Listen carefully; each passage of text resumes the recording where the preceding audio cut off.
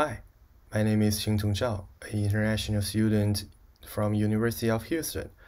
I have loved art since I was a child. If I lost my art in my life, I'll be very disappointed. After I grew up, I found a more cool major in the rapidly developing society, graphic design. Our life is more and more inseparable from graphic design, from advertising, newspapers, and digital art. It is different from the traditional pure art. I'm very interested in this subject of combination of the art and business. Graphic design is also a key. With the foundation of the graphic design, I can develop in the direction of 3D design, interactive design, and post-production, which will give me more way to express myself.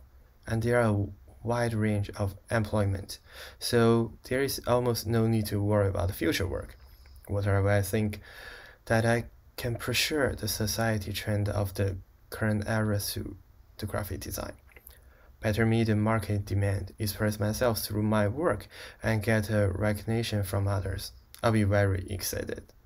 If I were allowed to choose my major again, I would still choose the graphic design.